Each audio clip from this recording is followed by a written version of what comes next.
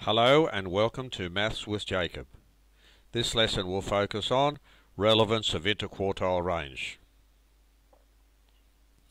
When statisticians talk about quartiles, they are dividing the set of available data into four quarters.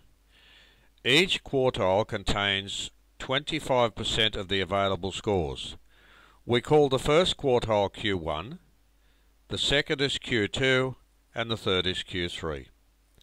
The interquartile range, IQR, is the difference between Q3 and Q1. Quartiles are very useful because they tell you where a particular score lies in relation to all the others. For example, the first quartile has 25% of the scores less than it and 75% above it.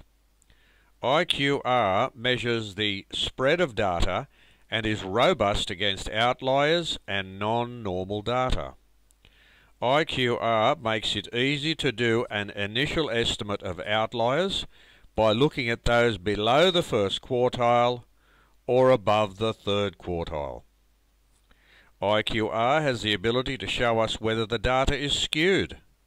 That is, we can quickly ascertain whether the median is closer to the first or third quartile.